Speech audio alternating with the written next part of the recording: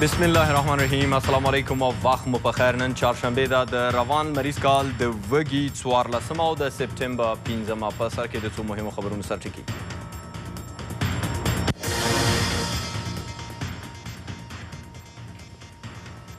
پاکستان ته د دوو جګپړو امریکایي چارواکو سفر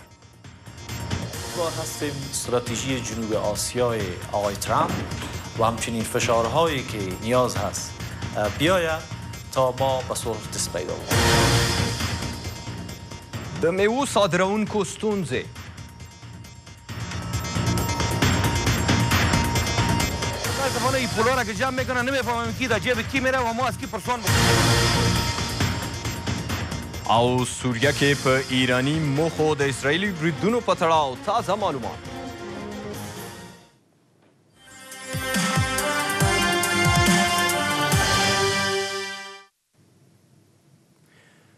د خبري ټولګه په هم مهاله توګه په آریانا نوز آریانا او ټولنیزو شبکو ګورئ زه زمریالی عباسین یم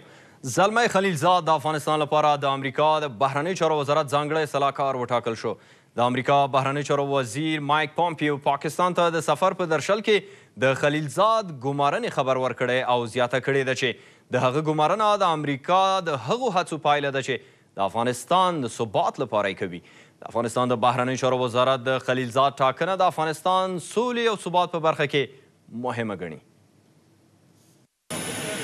پاکستان ته د امریکا د بهرنیو چارو د وزیر مایک پومپیو د سفر په لړ کې هغه خبر ورکړ چې په خټه افغان امریکایي خلیلزاد یې د افغانستان لپاره د بهرنیو چارو د ځانګړي سلاکار او استازي په توګه ټاکلی دی. هغه ویلي چې خلیلزاد به په افغانستان کې د سولې او ثبات هڅې بدرګه کړي. زلمی خلیلزاد به د بهرنیو چارو وزارت د کاري ډلې غړی شي.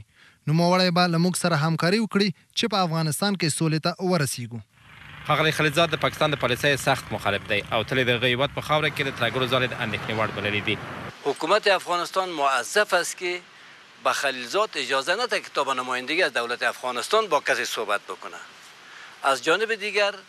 مقطعا مداخله تمام کشورها را به شکل مستقلانه با طالبها بدون موجودیت حکومت افغانستان تحت هر عنوانی که باشد یک اشتباه می دانم یک غلط فاحش می دانم و مشروعیت بخشیدن بیشتر به طالبها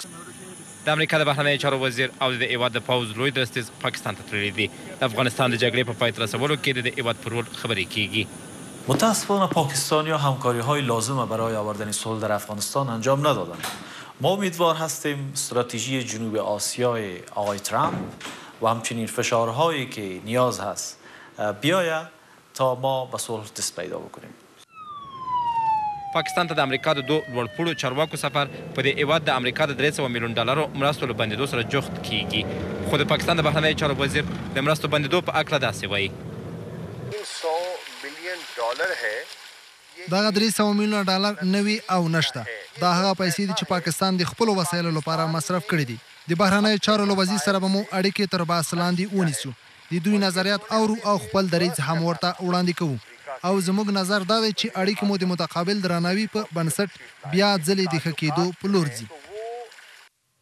په همدې حال کې مایک پومپیو اسلام اباد ته د سفر په لړ کې ویلي چې له پاکستاني چارواکو په ځانګړې توګه لومړي وزیر عمران خان سره لیدنو کې د افغانستان د جګړې په پای ته رسولو کې له هغېواده مرسته غوښتل کېږي. د تازه مېوو صادرونکي وايي، ترې د پولیسو، طالبانو او نورو وسلهوالو او ښاروالیو مامورینو لخوا په ناقانونه ډول پیسې اخیستل کېږي. ځینې دا صادروونکي وايي، د افغانستان صادراتي لارې په وحشت بدلې شوي. کورنیو چارو وزارت بیا وايي، نوې طرحه تر لاس لاندې لري څو انتقالاتي مسیرونه باثباته شي. دا هم د هېواد د تازه مېوې د صادراتو تر ټولو ستر مارکېټ، چې د ټول هېواد څخه بزګر خپلې تازه مېوې له دې ځایه صادروي، لا هم د دوی د فعالیت په وړاندې سترې ستونزې شتون لري. د تازه مېوې صادروونکي او بزګر وايي، د دوی محصولات د بېلابېلو پارچو په وسیله د طالبانو، پولیسو، اربکیانو او ښاروالیو له خوا محصول کېږي. دوی زیاتوي چې ټولې اړوندې ادارې یې په جریان کې کړي، مګر د ستونزې د حل مسؤلیت څوک په غاړه نه اخلي. قبلا ما اطلاع داشتم که رئیس بیجامور امته زراعتی را معاف ساخته بود مگر متاسفانه این پولا را که جمع میکنند نمیفهمیم کی در جیب کی میره و ما از کی پرسان بکنیم ما قبلا چند روز پیش در شورای عالی اقتصادی امیر از طریق حاجی صاحب الکوزی پیشنهاد کردم که شو رئیس جمهور معاف کره مګر متاسفانه روزانه یی پوله میګیره. د هیواد له ځینو ولایتونو څخه راغلي بزګر او سوداګر چې دلته راغلي تر څو خپل محصولات وپلوري وايي د هیواد له جنوب او شمال څخه چې دلته مالونه راوړي پر هر موټر یې پنځلس زره پورې مصارف کیږي. پر لارې را روانې ستونزې راته جوړې دي، خټکي شوه کېږي، پر لارې باندې هم موږ ته ډېرې ستونزې دي، خو ګټه چندانې موږ ته نه پاتېږي، خاص د دغه ستونزو د لاسه. اول اوجا طالب یک پارچه دو هزار روپه میگیره بعد از او اربکی میگن او میگیره از اوجا که میاییم اجاره داری بغلان است او میگیره از اوجا که میاییم در سر کوتل یک پارچه یا میگیره خرید و فروش هم نظر در سالهای گذشته هیچ مزهش نیست یک موتر از بیست هزار پانزده هزار محصولش بالا میشه.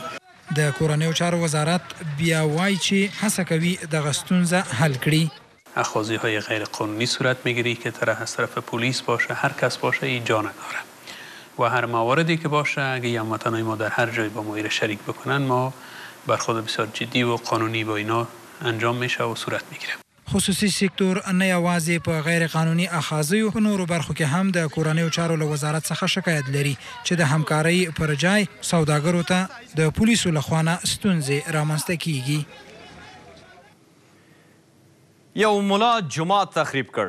د هرات ښار کې د یوه جومات ملا امام چې د سیمې خلکو په غوښتنه د ارشاد، حج او اوقافو ریاست له خوا له دندې لرې شو،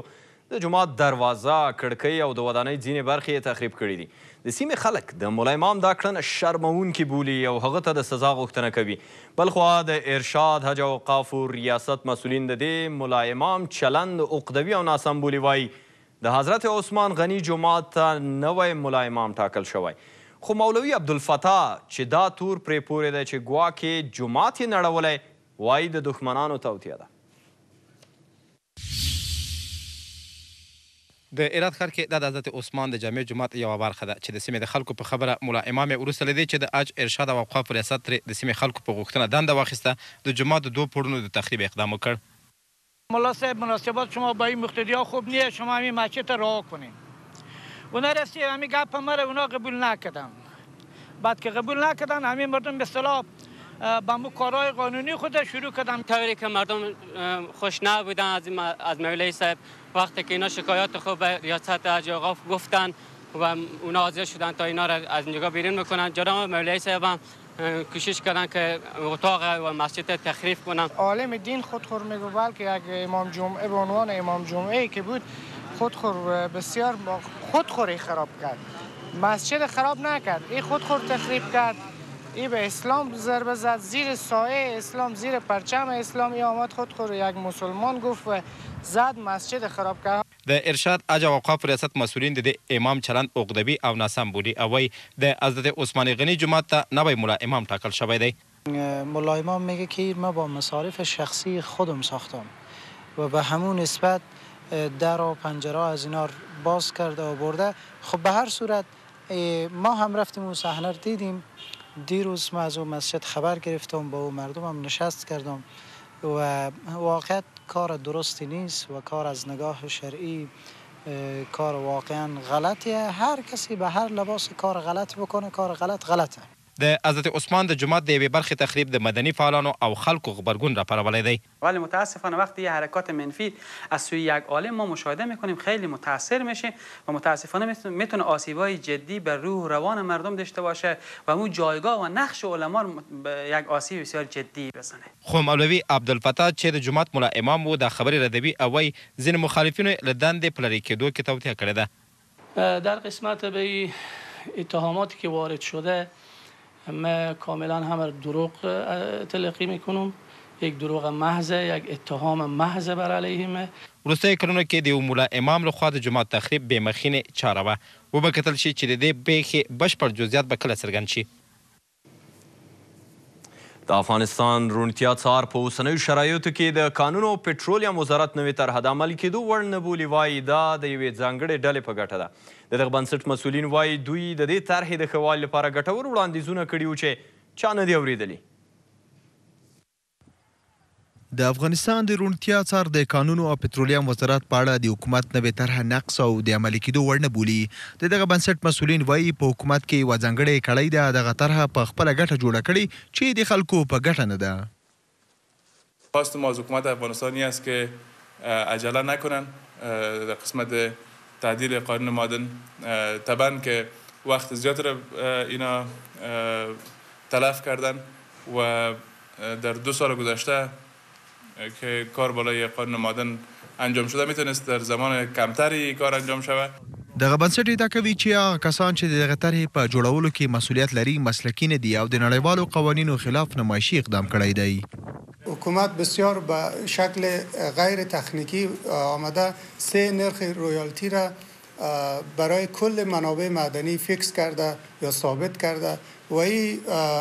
ما موافق از هستیم که نرخ رویالتی ثابت باشد اما نه در قانون بلکه در مقرره ای که میتونه به جزیات مربوط به انواع مختلف منابع معدنی بپردازد په همدې حال کې د کانونو او پترولیم وزارت وايي، د دغه قانون طرحه له مدني بنسټونو سره په مشوره جوړه شوې او د خلکو په ګټه ده. دوی وايي، د دغه طرحې په عملي کېدو سره به د زورواکانو او قانون ماتوونکو لاس لنډ شي.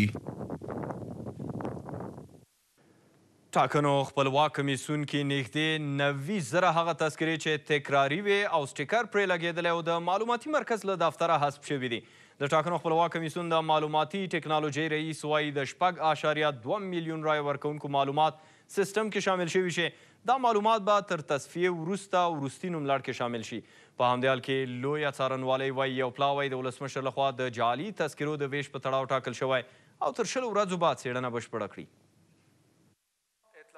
د شپږ اعشاریه دوه میلیون رایه ورکوونکو نوملړ سیستم کې شامل شوی دی. مسؤلین وایي، نږدې نوي زره هغه تذکرې چې تکراري وې او سټیکر پرې لګېدلي وو، حذف شوي او تر تصفیې او څېړنو وروسته به وروستي نوملړ کې شامل شي. قسمت از معلوماتش ناقص آمده پیش ما بعضی ای که زیر سن است و بعضی ای که تاریخ تولد نداره که او خودش یک سواله و بعضی ای که مشکوک است که د ټاکنو خپلواک کمېسیون وایي، د کابل او تخار د رایې پاڼو بېلګې چاپ شوي او د تلې تر دویمې به بشپړې شي. ای از کابل است که یک ای سه دانش از یک نفر رای رای میگیره و ورق دیگهش هم از کتاب دیگه از تخار است خدمت فقط مثل یک نمونه خدمت شما ارائه میکنیم و که این نمونهش رسید از طرف کمیسیون اوکی شد په همدې حال کې لویې څارنوالۍ وایي، یو پلاوی د جعلي تذکرو د وېش د څرنګوالي په تړاو ګومارل شوی او تر شلو ورځو به خپله څېړنه بشپړه کړي. حیات عملا کار خدا آغاز کرده بعد از که حیات معظف کار خود خاتمه بتن یا پایان بتن انشاءالله مشخص خود شد که ارقام عمومی ای تزویر تذکرا در چه سر در چه است و کدام اشخاص افراد در پیوند به این قضایا یا در ارتباط به این قضایا دخیل هستند د کابل د ولسي جرګې ټاکنو ته د خپلواکو کاندیدانو د عامکارۍ شورا ټاکنو کې د روڼتیا او د ولسي جرګې د څوکیو د زیاتوالي غوښتنه لري. هفت میلیون نفوس وجود دارد وقتی ما بحث از اصول و قوانین میکنیم دقیقا که باید حقوق شهرمندان کابل احاطه شود یعنی هدف ما ایست که باید افزایش کرسی به وجود بیاید. د ولسي جرګې ټاکنو ته پنځه څلوېښت ورځې پاتې دي. دا په داسې حال کې ده چې د ټاکنو خپلواک کمېسیون له ګڼو ستونزو سره مخامخ دی.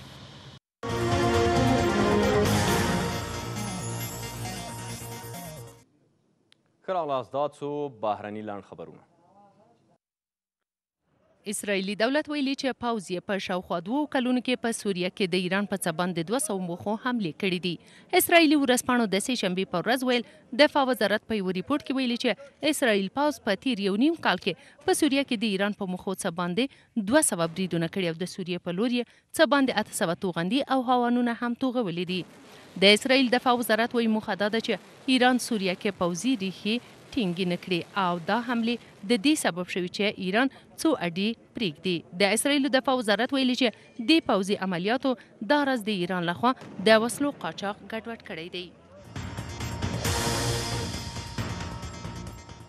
د امریکا ولسمشر دونالد ترامپ به د همدې سپتمبر میاشتې په شپږویشتمه نیټه د امنیت شورا یوه غونډه مخته یوسي او د ایران په اړه به خپل دریځ روښانه کړي ولسمشر ترامپ به د ملګرو ملتونو په مقر کې د نړۍ د مشرانو د راتلونکي سرمشریزې په مهال دا کار وکړي په ملګرو ملتونو کې د امریکا سفیرې نیکیلی پرون ناوخته د ترامپ د دې اقدام اعلان داسې وخت وکړ چې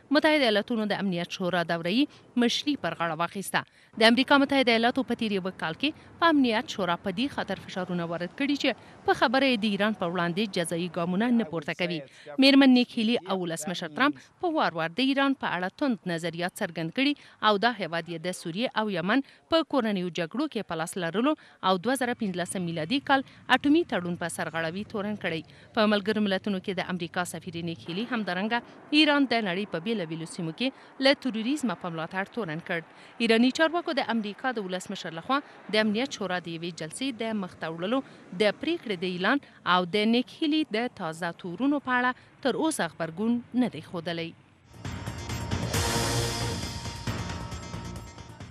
په جاپان کې هغه هوایي ډګر چې د تیرې ورځې د قوي طوفان له کبله یې چارې ځنډېدلي یوازنۍ ورغلې لارې ویجاړه شوې ده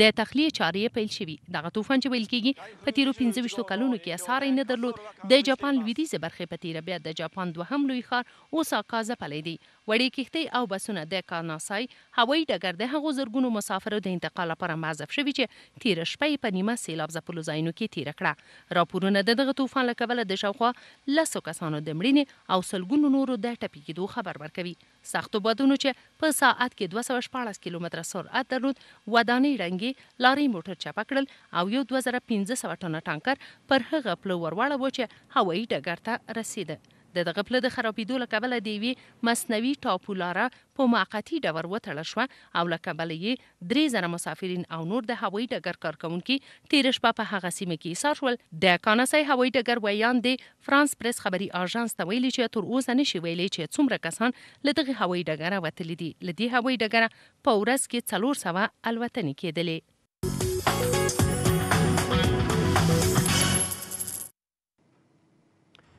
د خبرونو دوام په اریانا نیوز او اریانا کې ګورئ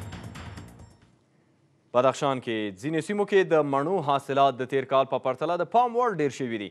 یو شمېر بڼوال وایي مناسب اقلیم او په وخت د اوبو او کیمیاوي سرې کارول د مڼو د ډیروالي لامل شول د بدخشان اوسیدونکي وایي که د کرنې ریاست له بڼوالو سره همکاري وکړي نو بدخشان به د ډېرو څېرمه ولایتونو د اړتیا وړ مڼې هم تولید کړي. دا په داسې حال کې ده چې افغانستان د تازه میوو د ګڼو منابعو په درلودلو سره لا هم لیدل کېږي چې له ځینو نورو هېوادونو میوې صادروي واردوي.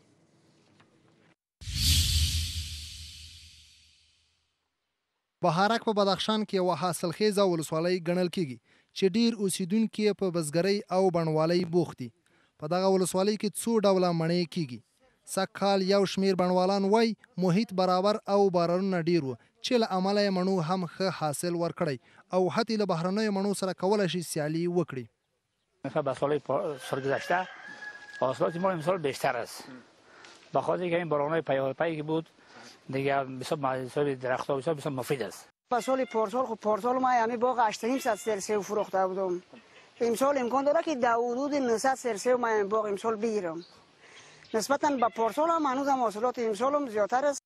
په بدخشان کې د کرنې چارو یو شمېر ماهرین وايي، که د کرنې او مالدارۍ ریاست له بڼوالو سره همکاري وکړي، نو دوی کولای شي حتې د ډېرو کونډیو ولایتونو د مڼو اړتیاوې هم پوره کړي.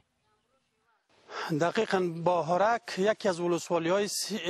بزرگ بدخشان است که به سب بارک بسیار مشهور است و مردم بارک نسبت به سبش خوبتر میشناسند و اگر ریاست محترم زراعت بدخشان نیادای مرتبی دفاتری که در عرصه کشاورزی و باغداری کار میکنن اگر توجه جدی مبذول بدارن بدون شک که بهارک نه تنها برای بدخشان بله تقریبا بر نو ولایت سمت شمال سیب تولید میکنه البته سیب با کیفیت. د بدخشان د کرنې ریاست وايي، شرایط او محیط برابر و، د کرنې د ترویج مدیترانو له بزګرانو سره همکاري کړې، چې کیمیاوې سره په وخت استعمال کړي او د حشراتو پر وړاندې مبارزه وشي، دا ټول د حاصلاتو د ډېروالي لامل شوي دي.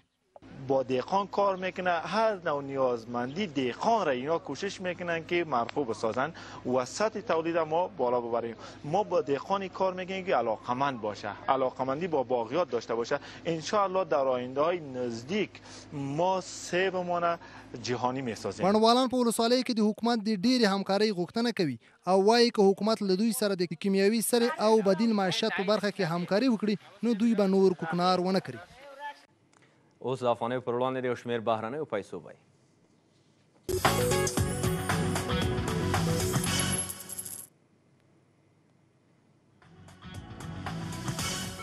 یو امریکایي ډالر څلور اویا افغانۍ پنځلس پوله یوه یورو پنځه اتیا افغانۍ پنځوس پوله د اماراتو یو درهم شل افغانۍ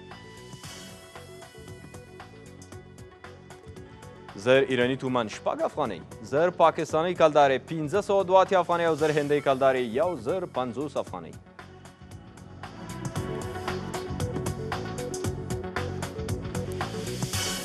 اوس هم د هوا حالاتو اټکل.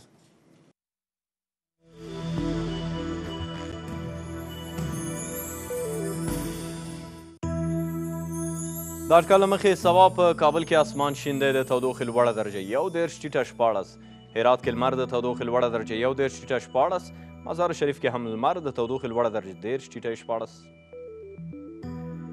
ختیځ جلال آباد کې لمر د تودوخې لوړه درجه اته دېرش ټیټه شپږ ویشت سویل کندهار کې هم لمر د تودوخې لوړه درجه درې دېرش ټیټه ولس او غزني هم آسمان شین د تودوخې لوړه درجه نهه ویشت ټیټه نهه خو په اریانا کې د دې مهال خبرونه پای ته رسو په عین حالت کې له تاسې مننه او له خپل همکار روح الامین نیازي هم مننه کوم چې تاسو ته سپورټي خبرونه الله مل